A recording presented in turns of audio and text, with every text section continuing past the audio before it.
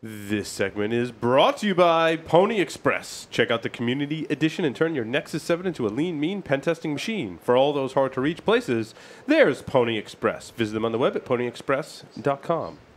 And by Onapsis, the leading provider of solutions to protect ERP systems from cyber attacks. Customers can secure their SAP and Oracle business critical platforms from espionage, sabotage, and financial fraud risks. Visit them on the web at onapsis.com.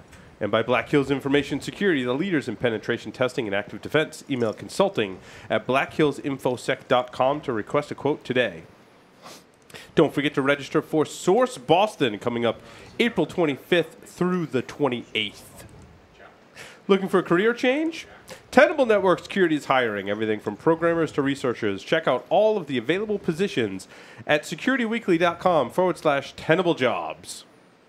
Security Week listeners receive a 10% off products in our store at shop.securityweekly.com with the discount code IHackNaked. Larry is teaching SANS 617 wireless ethical hacking and defense coming up in Austin, Texas. That's May 18th through the 23rd. Make sure you check that out. Welcome back, everyone, to Security Weekly. I'm here with our special guest, Dan McInerney. Did I say that right? Yes, you did. Holy Yes, you crap, did. I said it right. You know, 10 tries is One. Wonderful. One to have you people. here. Do I want to read your bio because it's really awesome. Dan wasted several years of life studying psychology in college before realizing that A, he could teach himself everything he learned in college for free and more efficiently, and B, he didn't actually want to go to school for another 12 years just for a shot at a mediocre job. So he switched his router into WEP mode, cracked it, and was immediately and permanently addicted. His education from there uh, generally re- revolved around learning security concepts, then scripting it to Python to solidify the knowledge. This continued for the next several years until the end goal of his career was reached. Getting on to Paul Security Weekly. This is it. Dan will likely cease all learning at this point as there is nothing left to achieve. Welcome to the show, Dan. Thank you. Very kind Thank words you. you put inside of your bio. That's great. But you're here now. You hit a little traffic. We had shuffled things around. We had some catastrophic technical failures. Props to our technical team for, for hanging with us for that. Good job, guys. So skilled. That is real leadership right there, Paul. I like that. Well, Thought thank you, thank leadership, you as I'd well. say. And I got a compliment of my leadership skills from Mike. I mean, the, the night just, I don't know how it could get any better from here, except to see your technical segment, Dan.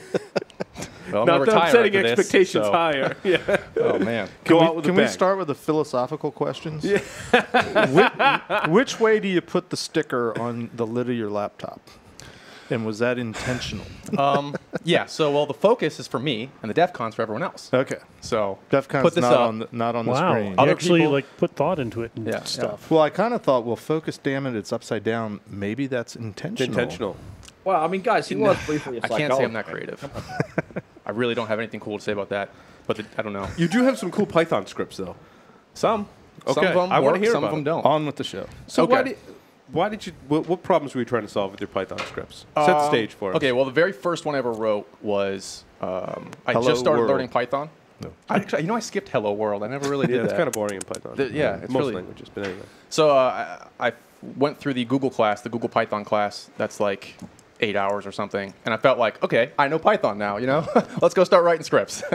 so I wrote uh, a tool that just checks your ARP cache, and then if your router ARP cache changes, then it pops up a little message and says, uh, "Hey, looks like someone's ARP spoofing you.